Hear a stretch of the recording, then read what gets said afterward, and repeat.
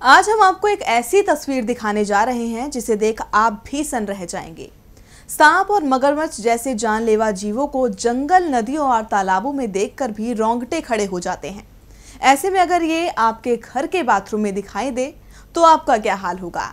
जी हाँ एक ऐसी ही तस्वीर सामने आई है वडोदरा के जय नारायण नगर से, जहाँ एक घर के बाथरूम में मगरमच्छ का बच्चा घुस आया। ये खबर जैसे ही घर के बाहर पहुँची तो पूरे इलाके में हड़कंप मच गया। घर के मालिक नरेंद्र वासन ने जब इस मगरमच्छ को बाथरूम में देखा तो पहले तो उन्हें अपनी आँखों पर विश्वास नहीं हुआ कि आखिर दो फीट का मगरमच्छ यहाँ कैसे पहुँचा।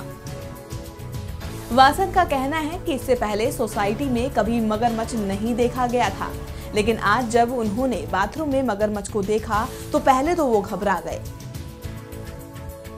लेकिन उन्होंने हिम्मत नहीं हारी और तुरंत जाकर पड़ोसियों को इसके बारे में बताया, जिसके बाद पड़ोसियों ने इसकी सूचना वन विभाग अधिकारियों को दी।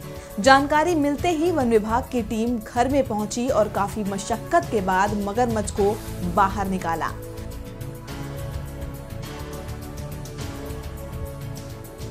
वन विभाग की रेस्क्यू टीम ने जब मगरमच्छ के बच्चे को पकड़ा, तब घर के मालिक समेत पूरे मोहल्ले वालों ने राहत की सांस ली।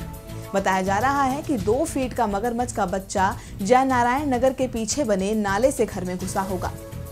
वाकई सांप और मगरमच्छ जैसे जानवरों को देखकर रूह काँप जाती है और वो भी अगर आपके घर में आपके सामने हो तो क्या हाल होगा? इसका अंदाज़ा लगाया जा सकता है। देखते रहिए डीबी लाइव